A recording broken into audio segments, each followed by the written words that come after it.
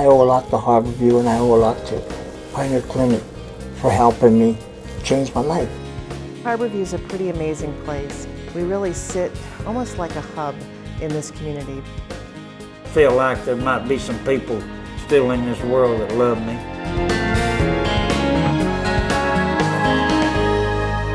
We're a community-based, mission-focused university hospital for patients from all walks of life, and people want to choose to get their care there.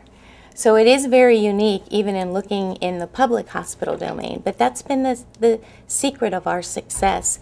And I believe one of the reasons why the community has wanted to work with us, invest their trust in us, and really help us extend services.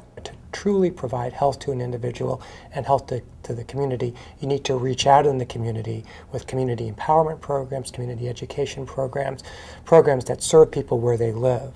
Harborview and the health department have a number of such programs.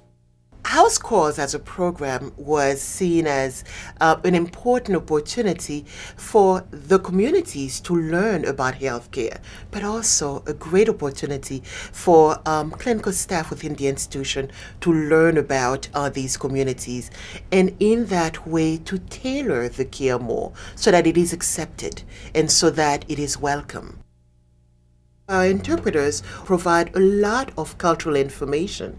We couldn't possibly become experts on 80 different cultural groups, so we really rely on the interpreters to act as guides for us. Harborview's mission population are, are uh, vulnerable, underserved populations, populations of color, and those are the populations that are disproportionately impacted by chronic illness. What we've been able to do is provide training in evidence-based approaches to community-based health workers who can then go into the homes of patients and help them develop strategies and implement strategies that allow them to lead healthier lives. We've tapped into the richness of the community to provide what people with chronic disease need to be able to take care of themselves.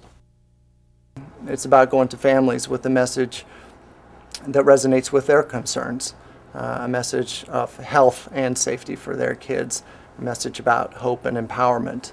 When we wanted to promote child passenger safety in four to eight year old children, we went to the Head Starts, uh, the schools, the preschools in, in the targeted areas and, and got them to participate with us. They gave us access to their parent groups and through them to the children that we wanted to serve when people can work side by side with a person with uh, a mental illness and that person is willing to let people know that they have a mental illness, it changes the way society views mental illness in general. Um, it also changes the way that other people with mental illness view what their opportunities are.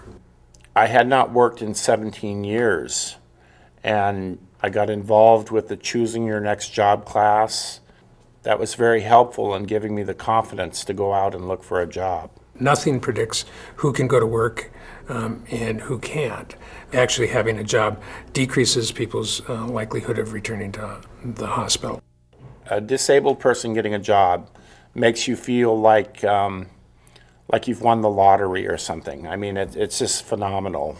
Only by addressing underlying causes like mental illness, like Harborview is doing, can we expect to move from a state where we have a lot of homeless people to what we're trying to achieve in this city, which is no homelessness. There are so many struggles for people who are homeless as far as getting shelter and food. That so much of their day is spent trying to get the basic survival things of life. And so healthcare often gets moved to the very bottom of that list. So what we try to do is make it as easy as possible for people to actually attend to their health even though they're homeless. They got me stable, they gave me hope, and they let me, they gave me an opportunity to live. They taught me how to care about myself and believe in myself. And they did it for me until I learned how to do it for myself. And they're still there. The respite clients come to us at their very lowest. They need the support of the respite team, and it's a team of doctors, nurses, chemical dependency workers, and mental health specialists that can give them the support to put their lives back on track again. I'm really thankful that, that these people really stopped and cared for somebody like me, you know. Because I, I, I, I didn't think anybody really cared. But there is people out there that really care. And it makes me feel really good. The importance of Foster McGaw to Harborview is the alignment of the mission of that award with the mission of this hospital. And the visibility that it has as really inspiring other hospitals and other communities to partner with the community to extend service. It was really a testament for the incredible work that's done every day by our dedicated physicians and staff as they reach out and care for some of the most vulnerable citizens in our community. Congratulations to the entire team at Harborview and all the 2007 Foster McGaw finalists for leading the way to a healthier America. We're proud of you.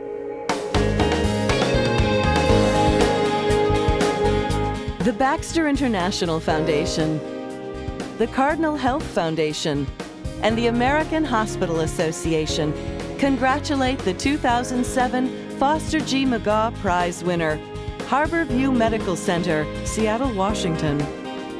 We also honor the finalists, King's Daughters Medical Center, Ashland, Kentucky, Riverside Health System, Newport News, Virginia, St. Joseph Healthcare, Lexington, Kentucky.